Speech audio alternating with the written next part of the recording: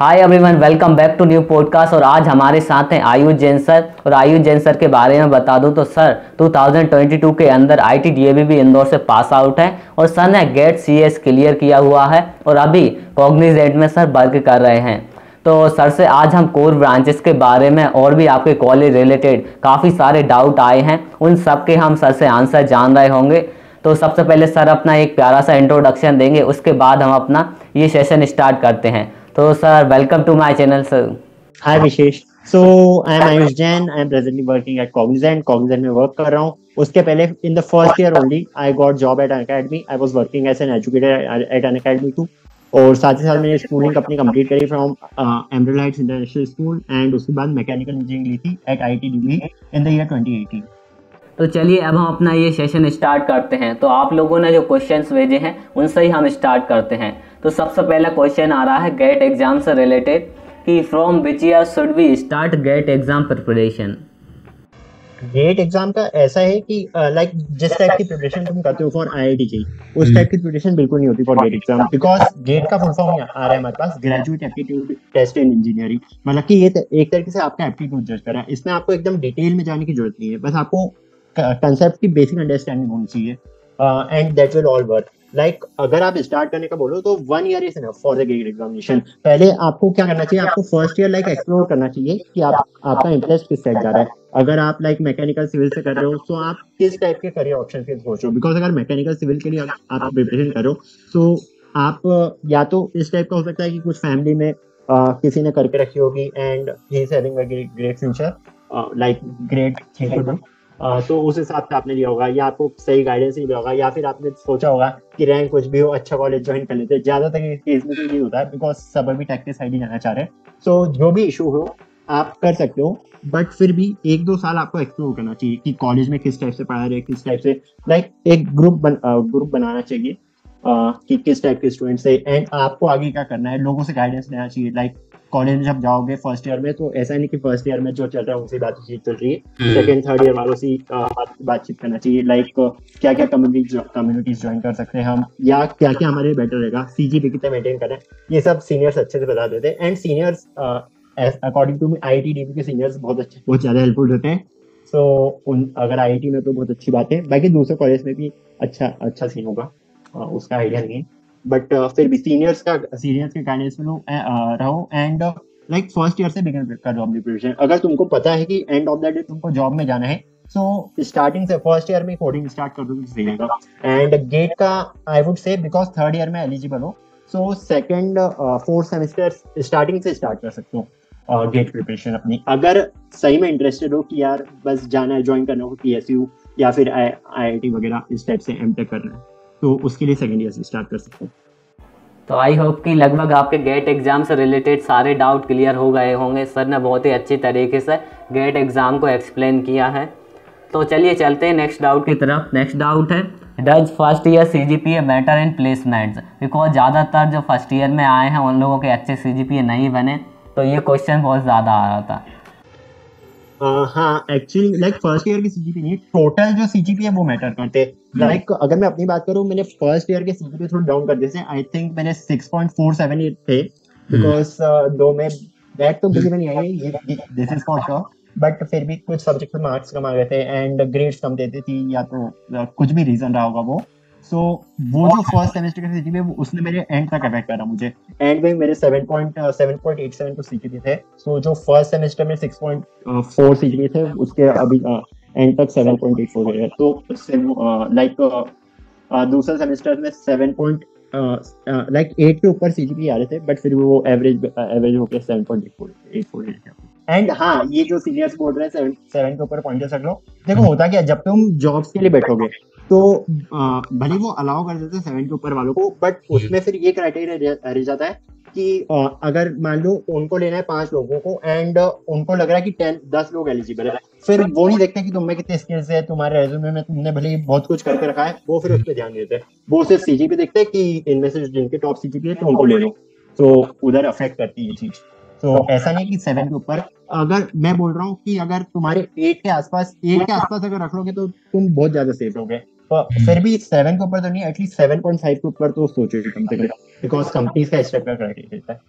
तो I hope कि आपका ये सी जी पी ए से रिलेटेड डाउट क्लियर हो गया होगा। अब चलते हैं हम नेक्स्ट क्वेश्चन की और नेक्स्ट क्वेश्चन है does club certificates are matter in placements because senior ज़्यादातर बोलते रहते हैं कि क्लब से ज्वाइन कर लो इनका प्लेसमेंट में बहुत ज़्यादा फ़ायदा मिलेगा। तो सर इसका फ़ायदा रहता है या नहीं रहता?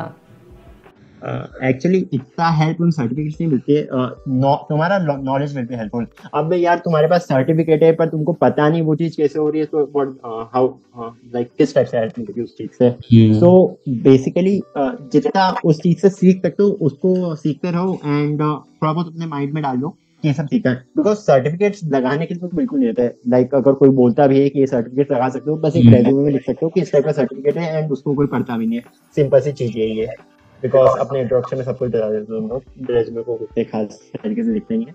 सो इतने ज़्यादा इंपॉर्टेंट नहीं है। लाइक अब सर्टिफिकेट की बात करूँ लाइक अगर तुम माइक्रोसॉफ्ट गूगल के कुछ अच्छे खासे सर्टिफिकेट लाए हो कुछ अच्छे खासे कोर्सेज करके रखे तो दो सार हेल्पफुल आईटी सेक्टर की बात करूँ तो इसमें स्टेप्स रहता है। लाइक कॉग्निजेंट जब मैंने ज्वाइन करा था सो कॉग्निजेंट लाइक आता सब कुछ था पर सर्टिफिकेट नहीं था तो उसकी प्रॉब्लम थी। सो जिनके पास सर्टिफिकेट थे उन्होंने अपना डोमेन चेंज वगैरह कर लिया। सो सर्टिफिकेट के बेसिस पे कंपनी के बाद घुसने के बाद डोमेन वगैरह चेंज के लिए that may be useful as such company joining के लिए यूजफुल है। तो आई होप कि आपका ये डाउट क्लियर हो गया होगा। अब चलते हैं नेक्स्ट क्वेश्चन की और नेक्स्ट क्वेश्चन है why most people move to tech companies because survey mechanical और टेक कंपनीज़ में चलेगा तो सर इसका आंसर बहुत अच्छी तरीके से दे पाएँगे मैं समझता हूँ। देखो होता ये है कि लाइक मैकेनिकल और सिविल की कंपनीज़ कंपेरेटिव बहुत कम आती है। और अगर आती भी है तो लाइक आईटी सेक्टर साइड से ही आती है और वो भी मास रिक्रूटर के रूप में। बिकॉज़ मैंने खुद ने उस टाइप के इश्यूज़ फेस करे and that's why I thought of giving GATE computer science GATE mechanical की प्रिपरेशन करी भी थी। थर्ड ईयर में गेट मैकेनिकल किया था। एंड फोर्थ ईयर में थोड़ा बहुत माइंड डाइवर्ट कर लिया toward GATE computer science so इस टाइप के सिनेरियोस बनते हैं।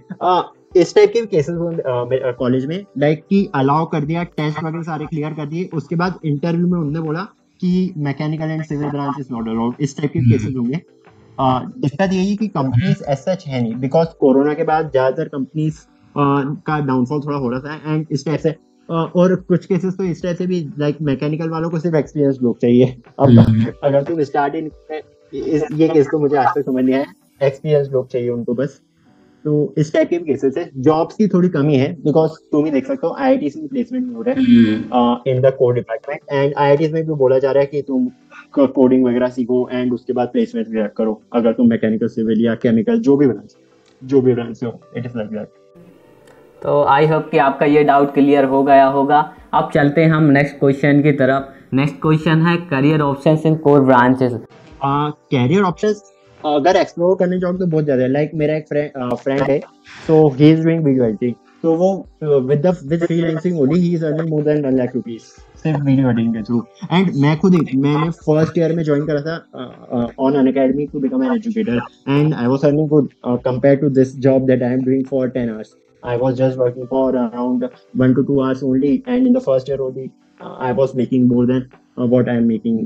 Okay, so career options बहुत सारे एक्सप्लोर करना पड़ता है। बस एज ऐसा फ्रीलांसर वर्क कर सकते हो या किसी भी तरह वर्क कर, कर सकते हो। आज के ज़माने में चीज़ें बहुत ज़्यादा करने को। अगर कोई आइडिया दिमाग में आया एंड उसको आपने अच्छे से इम्प्लीमेंट कर दिया कंपेयर टू जिसके पास वो आइडिया नहीं आया है एंड रिक्वायरमेंट्स को अपने को समझना पड़ेगा कि रिक्वायरमेंट क्या है सोसाइटी के लिए। एंड अगर वो चीज़ वर्क कर जाती तो बस काम हो गया। तो आई होप कि आपका ये डाउट क्लियर हो गया होगा। अब चलते हैं नेक्स्ट क्वेश्चन की और नेक्स्ट क्वेश्चन है why most people move to tech companies because survey mechanical ले और टेक कंपनीज़ में चलेगा तो सर इसका आंसर बहुत अच्छी तरीके से दे पाएँगे मैं समझता हूँ। आईआईटी में एक्चुअली अभी खतरनाक वाला बूम है लाइक अभी चैट जीपीटी आया है। तो hmm. मेरे खुद के फ़ोन में टेलीग्राम का एक बॉट डाल कर मैंने चैट जीपीटी का so if I just ask it a question it will just give me a reply instantly so उस वो चीज़ बहुत ज़्यादा हेल्प कर रही एंड लाइक मैं जॉब कर रहा हूँ उसमें भी ये चीज़ बहुत हेल्प कर रही है। लाइक अगर कोई बग आया है तो मैंने बस चैट जीपीटी पे डाल दिया कि ये बग आ रहा है। uh, ये वाला कोड डाला है मैंने इसमें क्या इशू है? सो वो कोड जो है उसको करेक्ट करके दे देता है। तो इस टाइप की चीज़ डेवलप हो रही है। एंड डेवलपमेंट अभी जो है वो ज़्यादातर आईटी सेक्टर में हो रहा है। लाइक अब मैं कह कार जो है वो बन चुकी है। ज़्यादा से उसकी डिज़ाइन चेंज करोगे मॉडल चेंज करोगे इस टाइप की चेंज करोगे अगर प्रोडक्शन साइड जा रहे हो तो उसमें भी कुछ ज़्यादा है नहीं। सो so, ये जो चीज़ें ये बहुत पहले से चलती आ रही है एंड इसमें ज़्यादा कुछ इम्प्रोवाइज करा जा सकता है। बट आई टी सेक्टर एक ऐसी चीज़ है जिसमें कुछ इंप्रूवमेंट के चांसेस है। दैट्स वाई ज़्यादा से ज़्यादा लोग आई टी सेक्टर में हायर हो जाते हैं। एंड इसमें अपॉर्चुनिटी तुम्हारे पास ये आ जाती है दैट तुम अपना खुद का ऑनलाइन बिज़नेस स्टार्ट कर सकते हो तुम ऐसा फ्रीलांसर वर्क कर सकते हो। इसमें कैरियर ऑप्शन खतरनाक वाले हैं। अगर तुमने लाइक कैरियर ऑप्शंस बहुत ज़्यादा है इस टाइप से। अगर आईटी में आते तो। As compare to other core branches इसलिए लोग ज़्यादा कोर को ज़्यादा प्रेफर नहीं करते। तो चलिए अब चलते हैं हम अपने नेक्स्ट क्वेश्चन की ओर। नेक्स्ट क्वेश्चन है सी एस आई टी वालों का कि अगर हमें कोडिंग नहीं करना तो हमारे पास क्या क्या ऑप्शंस हैं कि जिनसे हमारा प्लेसमेंट हो जाए? ऑप्शन तो है बस ये है कि सैलरी इतनी नहीं रहेगी। As compare to coder so option तो बहुत सारे लाइक मैनेजरियल रोल्स भी होते हैं I T sector I T sector में अगर जाओगे तो। तो आप मैनेजमेंट पर्पज के लिए लाइक दूसरों को गाइड कर सकते किस टाइप से वर्क कर रहे हैं। लेकिन लाइक कोडिंग के बिना एज सच ऑप्शन देंगे। पर फिर भी अगर मैं ये मान के चलूँ कि कोडिंग से तुम बी एस सी की बात करो सो so, अगर डीएसए नहीं भी करते हो तो तुम तो भी फिर भी तुम front end development side development की साइड पे जा सकते हो या बैक एंड डेवलपमेंट की साइड पे जा सकते हो। तुम डेटाबेस एडमिनिस्ट्रेटर बन सकते हो या स्क्रिप्टिंग अगर तुम कर सकते हो तो उसकी साइड जा सकते हो। ऑप्शन तो बहुत सारे आईटी सेक्टर ऐसा नहीं है कि तुमने बस एक आध प्रोग्रामिंग लैंग्वेज कर ली हो गया। इसमें इट इज़ लाइक कंटिन्यूसली तुमको सीखना रहेगा हर चीज़ को। लाइक like, अभी जैसे मैं जॉब कर रहा हूँ पहले ऑटोमेशन में हुआ हुआ मेरा देन फिनेकल डेवलपमेंट साइड आया हमें एंड फिर से रोल चेंज हो गया। तो इस चीज़ में कंटिन्यूसली अपने को ग्रो करना रहता है। तो चलिए चलते हैं अब हम अपने नेक्स्ट क्वेश्चन की ओर। नेक्स्ट क्वेश्चन है first year and second year road map के बारे में। देखो सबसे पहले तुमको क्या करना है तुमको सबसे पहले एक प्रोग्रामिंग लैंग्वेज अच्छे से करनी है। ओके प्रोग्रामिंग लैंग्वेज कर दी सी प्लस प्लस हो जावा हो Python I would suggest because Python भी सजेस्ट कर सकता हूँ बट प्लेसमेंट में ज़्यादातर मतलब fifty to sixty percent companies allow नहीं करती कि आप पाइथन में लिख दो बिकॉज़ उसमें ऐसी लाइब्रेरीज होती हैं एंड कोडिंग पाइथन तो मैं बोलूँगा कि सी प्लस प्लस या जावा को पकड़ो and C plus plus Java पे अपनी uh, अपना कमांड लाओ। उसके बाद आपको करना है डेटा स्ट्रक्चर्स एंड एल्गोरिथम जिसमें स्टार्ट करना with arrays links stack queues trees binary search trees and जो जो जो कुछ है ग्राफ डीपी ग्रीडी एल्गोरिथम्स वगैरह सब कुछ ये कवर करना है। एंड इस पे आपको प्रैक्टिस करनी है। अराउंड मैं बोल दूँगा कि अगर आप 400 क्वेश्चन भी अच्छे से कर रहे हो 400 क्वेश्चन अगर आपने करे हैं so that will more than sufficient Love Babbar भैया की एक डीएसए शीट मिल जाएगी अपना कॉलेज की डीएसए शीट मिल जाएगी जो भी शीट अच्छी लग रही है उसको कर लो एज कंपेयर टू कि साइट पे जा रहे हो एंड वहाँ पे क्वेश्चंस कर रहे हो उस टाइप से। सो आई वुड सजेस्ट कि डीएसए शीट पकड़ो एंड ट्राई करो कि उसको खत्म कर दो। It will take time because coding easy नहीं है एंड इस चीज़ को आपको कंटिन्यूसली करते रहना है। हम्म। इस चीज़ को कंटिन्यूसली कर बिकॉज़ लाइक दिन का एक क्वेश्चन भी कर रहे हो दो क्वेश्चन कर रहे हो तो आपके माइंड में कम से कम वो चीज़ चीज़ बिल्डअप करी हुई रहती है। उसके बाद क्या कर सकते हो लाइक फोर सब्जेक्ट्स है हमारे पास computer network operating system DBMS object oriented programming ये चार सब्जेक्ट को पे अच्छे से ग्रिप लानी है। बिकॉज़ अगर डेटा साइंस डेटाबेस एडमिनिस्ट्रेटर बनना है डीबीएमएस काम आने वाला है डीबीएमएस में भी अलग अलग चीज़ें अलग अलग चीज़ें रहती है। लाइक पी एल एस आ गया हमारे पास programming like procedure language standard language इस टाइप से आ गया हमारे पास। एसक्यूएल आ गया है माई आ गया बहुत सारी चीज़ें। तो उसमें उसमें देख सकते हो। एंड वेब डेवलपमेंट साइड जा सकते हो या पाइथन की साइड जा सकते हो। Python artificial machine machine learning इन साइड तो चांसेस बहुत है। सो अभी सेकेंड ईयर में तो एटलीस्ट ये करना है कि अपना डीएसए खत्म करना है अपने को। And programming and DSA second year में इतना करना है एंड अच्छी ग्रिप उसमें लाने की कोशिश करनी है। अगर गेट साइड जाना चाहते हो तो फोर्थ ईयर में गेट स्टार्ट कर सकते हो। बाकी तो यही है। लाइक मैं ये बोलना चाहूँगा कि इस चीज़ के लिए टाइम तो निकालना पड़ेगा। एंड uh, जो फ़र्स्ट स्टेप तुम लेते हो बस वही डिफ़िकल्ट होता है। लाइक like जब मैंने अन अकेडमी पे एजुकेटर के रूप में अप्लाई करा था आई अप्लाइड इन जनवरी 2019 और मैं फ़र्स्ट ईयर सेकंड सेमेस्टर में था उस टाइम पे। सो जनवरी ट्वेंटी में मैं अप्लाई करा था। मैंने जब फ़र्स्ट अपना डेमो वीडियो बनाया था उसके लिए मुझे कम से कम पाँच पाँच दिन लगे थे। एंड स्टार्टिंग की फाइव क्लासेस लेने के लिए मुझे कम से कम एक महीना लगा था। एंड उसके बाद क्या हुआ? उसके बाद तीन चार महीने बाद एक महीने में सौ क्लासेस इस टाइप से पॉसिबल हो रहा था मेरे लिए। सो फ़र्स्ट स्टेप स्टार्टिंग में थोड़ी हेजिटेशन होगी। लाइक like, मैं एक इंट्रोवर्ट था। हम्म। अभी थोड़ा एक्सट्रोवर्ट टाइप दिख रहा होगा। बट uh, उसके पहले मैं इंट्रोवर्ट था।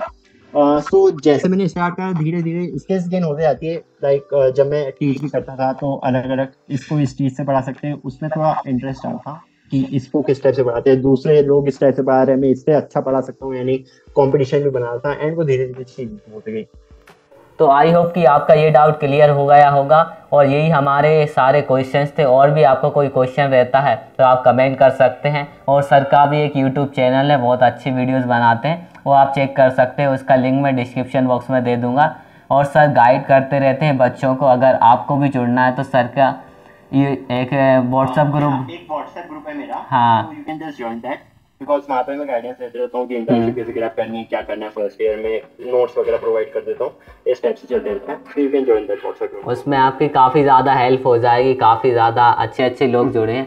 और सर भी काफ़ी अच्छी अच्छी चीज़ें शेयर करते रहते हैं। तो आप उससे ज्वाइन कर सकते हो। और जो भी आपको डाउट हो आप सर से पूछ लेना। सर के इंस्टाग्राम हैंडल का लिंक भी मैं डिस्क्रिप्शन बॉक्स में दे दूँगा।